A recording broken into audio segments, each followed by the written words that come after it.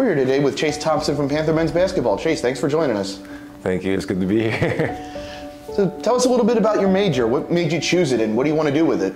so I'm doing business, and um, business has always been a big part of my life. I've always, you know, had different startups that I've been doing since I've been a little kid. I've always been a very entrepreneurial kid that do workouts with, with younger kids for basketball since I've been younger. And of course, my grandpa, he uh, he's a big business owner, so uh, I want to get into family business. I want to make sure that there's generational wealth, and I think business is there's a lot of skills you can learn, but everybody needs somebody in business, no matter what, no matter what trade you're in, no matter if you're an engineer, no matter if you're the smartest guy in the world, you need somebody that can articulate your thoughts business-wise and put out your plan. And that's something I think I could do. So that's why I really got into it. I, I know I can expand a lot of stuff that my family's doing, and I have plans of my own. So.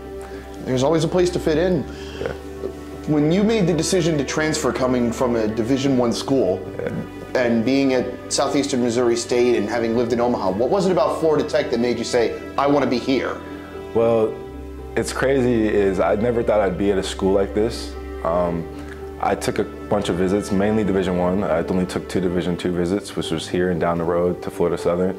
And this school, not only is it a beautiful weather and it's a beautiful campus, but I've heard so much about it, like academically, and I never thought I would get the opportunity to be at a school that is, you know, acclaimed for how they do things in the classroom. Because my last school, as much as it was great, we had great teachers, it's nothing compared to the strenuous academic work that this school is. And it's helping me prepare myself for if I decide to, you know, be in a workplace uh, with other people instead of owning a business. So um, this school really, and also relationships, of course, but I knew a lot of, I knew the coaches pretty well. They recruited me at other schools. So the relationships plus knowing how great this school is with connections and how many big business owners I'd get to meet and work with, this was a no-brainer.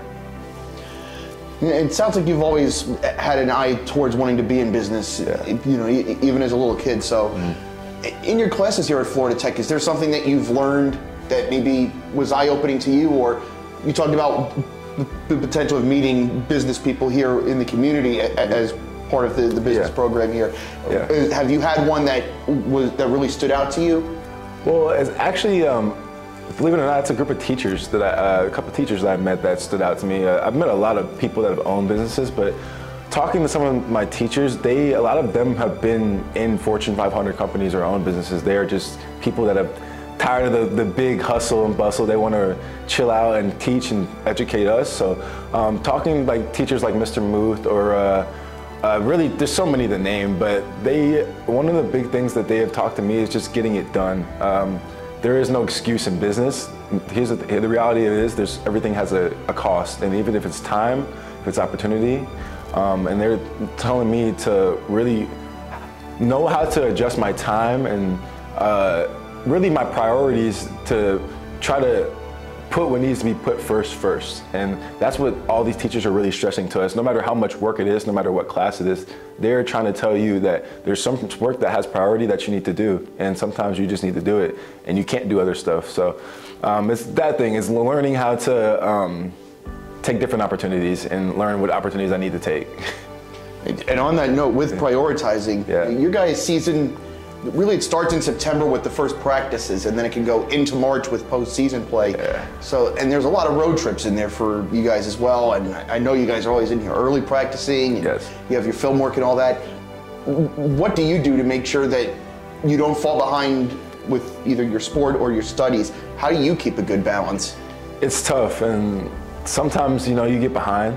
Um, but my biggest key to myself keeping a good balance is I've started to evaluate myself weekly, and I realized that you can do anything you want. You could do the good, the right thing or the wrong thing, but at the end of the day, you have to evaluate yourself. So I started evaluating myself before and after weeks. So what do I want this? What do I want of this week? What do I want to be productive of this week? And what do I need to get done of this week? And it's still hard, you know. It's not something that you just flip your mind on and do. Like you, I still have assignments that I'm last minute trying to get done, and I think that's just the workload and how hard the school can be. But I think it's a good thing. But the the biggest thing with balancing is prioritizing work and doing work ahead of time, reaching out to teachers. The one thing I've done more is reach out to teachers, which I haven't been good at in the past, just because I feel like I can get stuff done myself, but it's it's more than that. It's bigger than that. Um, reaching out to teachers, asking them, hey, can I get this stuff to work on? You know, all it does is build that relationship, and all you can do is ask. So that's the that's one of the biggest things is really asking people around for help, and they because they are willing to help if you're willing uh, willing to ask for it. That actually leads well into our, our next question: is how do you feel like being a college athlete is helping you with the career that you have ahead of you in business? And do you feel like there's any lessons in life that you've learned from basketball? Yes, sir, for sure. Basketball is the biggest life lesson that um, I've been taught. It's all life lessons within itself. Um, you're gonna have situations you don't like. You're gonna have situations you like. And you're gonna have to have things you do that you have to do that you don't want to do. Just like in school, just like in the workplace. And I realized that in basketball, no matter what happens, no matter who tells you what, just like in the real world, they're only going to judge you by what you do. So you have to get it done.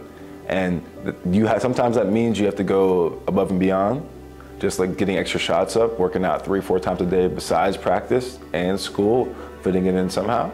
Or if that's go getting your extra studies in because you, just like in uh, just like in uh, the real world, you sometimes you don't want to bring that work home, but you got to bring that work home because it's got to get done. So I would say basketball, every little thing in basketball, every workout, every film study, every game is a life lesson within itself. And you have that opportunity to, to build on those skills as you continue playing basketball. And I think that's why people love hiring athletes, is because they realize that life is competition and there are ways to handle it. There's right ways and there's wrong ways. And there's people that are more prepared for that. And I think being an athlete, it's got me more than prepared to do that. And we'll wrap up with this. Uh, what advice would you give to an athlete coming to Florida Tech that wants to study business? One thing is get a good relationship with your teachers. And I think that's the biggest thing because the opportunities are going to come. There's going to be internships that your teachers are going to suggest you for if they feel like you're qualified, that they might nobody else might hear about. But your teacher knows, so they're going to suggest you for it because they like you and they like the way you talk and they like what you do in their class. So go to class. Um, I, I, know in my last school, this it, was we were always traveling, so I wasn't always in class. So I'm not used to having the everyday class thing. We had a lot of online classes. Here, you have to go. Go to class, get that relationship with those teachers, stay a little bit after, just talk to them for a couple minutes because those people just want to know that you care. And as long as they see you putting the time in and the effort in to know that you care about your study and you care about what they're talking about, then they're going to do everything in their power to help you. Well, we appreciate it. It's a great perspective, Chase. Thanks for joining us. No, thank you guys.